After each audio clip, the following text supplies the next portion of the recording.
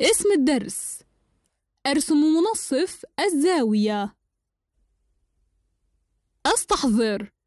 أولاً ألف. أرسم زاوية ألف باء ألف جيم. قيس فتحتها بالدرجة سبعين. باء. أعين على ضلعيها نقطتين. دال وكاف. تبعدان عن رأسها ألف نفس البعد. جيم. أعين نقطة أخرى. نون. تبعد عن النقطتين. دال وكاف. نفس البعد. دال. ماذا يمثل المستقيم؟ نون ألف. بالنسبة إلى قطعة المستقيم دال كاف. أعلل إجابتي.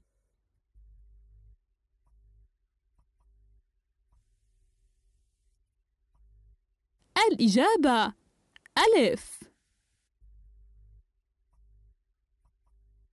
باء. باستعمال البركار أعين النقطتين دال وكاف.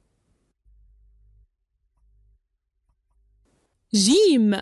نحافظ على نفس فتحة البركار ونقوم بتعيين النقطة نون متساوية البعد عن النقطتين السابقتين. دال. المستقيم نون ألف هو الموسط العمودي بالنسبة إلى قطعة المستقيم دال كاف. أستكشف. ثانياً. ألاحظ الزاوية ألف هاء ألف كاف. نصف المستقيم ألف جيم يقسم هذه الزاوية إلى زاويتين. لهما نفس الفتحة. النقطة جيم من بين النقاط الخمس المعينة في فتحة الزاوية. أحدد هذه النقطة.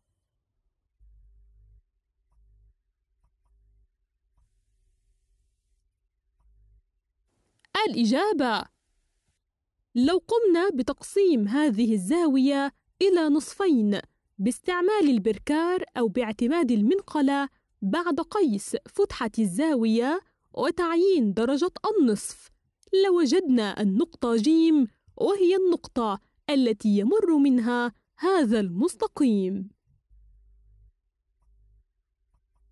ماذا نسمي نصف المستقيم ألف جيم؟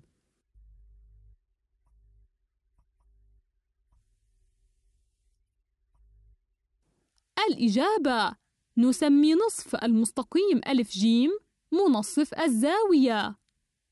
أتم الكتابات التالية. الزاوية ألف هاء ألف كاف تساوي الزاوية ألف هاء ألف جيم تساوي الزاوية ألف كاف ألف جيم تساوي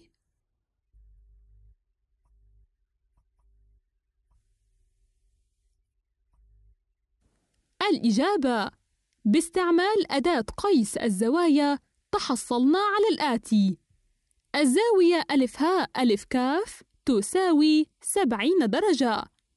الزاوية ألف هاء ألف جيم تساوي خمسة وثلاثين درجة. الزاوية ألف كاف ألف جيم تساوي خمسة وثلاثين درجة. أتدرب. ثالثاً أسمي منصف الزاوية ألف باء ألف جيم في كل حالة من الحالات التالية. أولاً ثانياً ثالثاً. الإجابة الحالة الأولى منصف الزاوية ألف باء ألف جيم هو ألف دال. الحالة الثانية منصف الزاوية ألف باء ألف جيم هو ألف ميم. الحالة الثالثة منصف الزاوية ألف باء ألف جيم هو ألف عين. أبين لأصدقائي كيف توصلت إلى ذلك.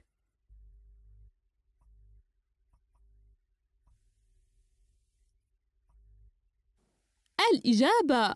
توصلت إلى ذلك عندما قمت برسم منصف الزاوية في كل حالة وذلك باستعمال البركار. رابعاً أرسم كل زاوية استناداً إلى قيس فتحتها. الزاوية قيس فتحتها بالدرجة ألف باء ألف جيم. سبعون هاء كاف هاء نون ثمانية وأربعون سين صاد سين عين مئة وعشرة قاف دال قاف ميم مئة وأربعون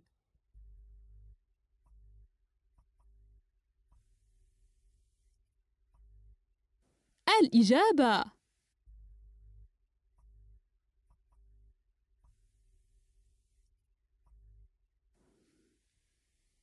أرسم منصف كل زاوية.